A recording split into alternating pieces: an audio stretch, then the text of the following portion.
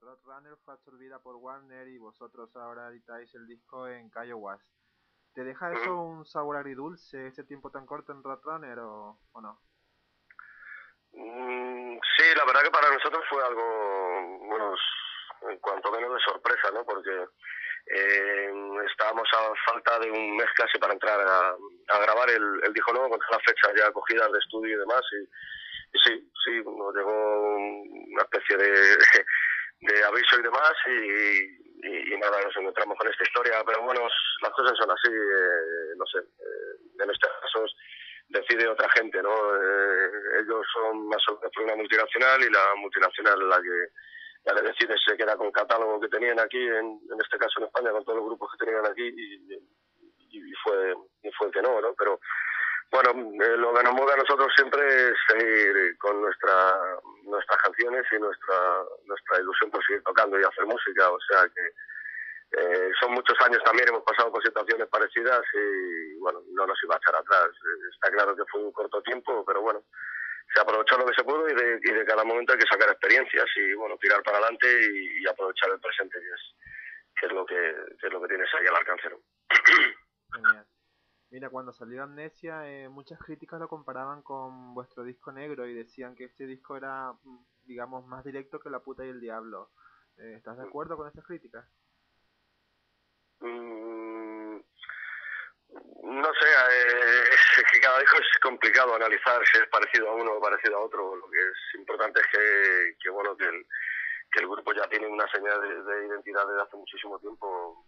Creo que es un disco mucho más Hamlet que el anterior, en, el sentido de que, de que tiene más elementos que nosotros hemos ido haciendo durante todos nuestros años, ¿no? Y durante toda la carrera hay discos más, más concretos y, más reconocidos, ¿no? La puta del diablo quizá fue el que más se separó de, nuestro sonido, porque era un disco mucho más más instrumental y con menos tiempo para, para la voz ¿no? y demás. Eh, em, es que es lógico, es el décimo álbum y, y tiene que tener elementos de cada uno de los discos anteriores. ¿no? Uno lo compararán con el negro, como dices, o no sé, a otra gente le suena mucho más a Inferno.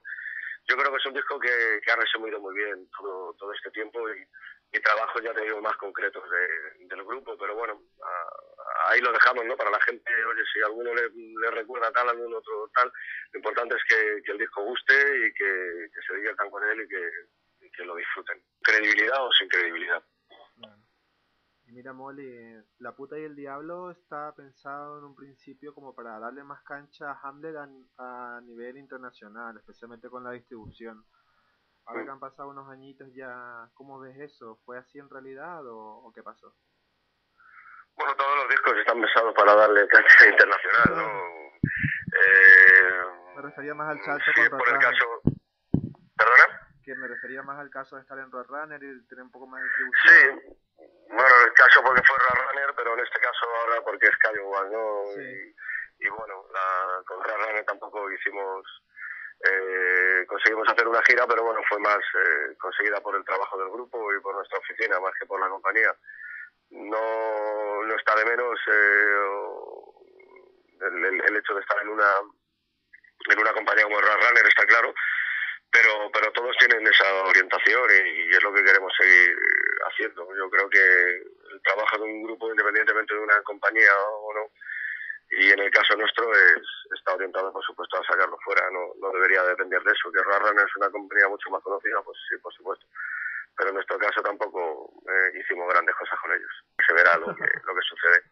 Vale. Bueno, mira, Molly, hace nada fue el debate nacional con los dos candidatos a futuro presidente de España. Y claro, como Hamlet siempre ha sido un grupo de tintes sociopolíticos en las letras, eh, ¿qué piensas del debate y de estas futuras elecciones?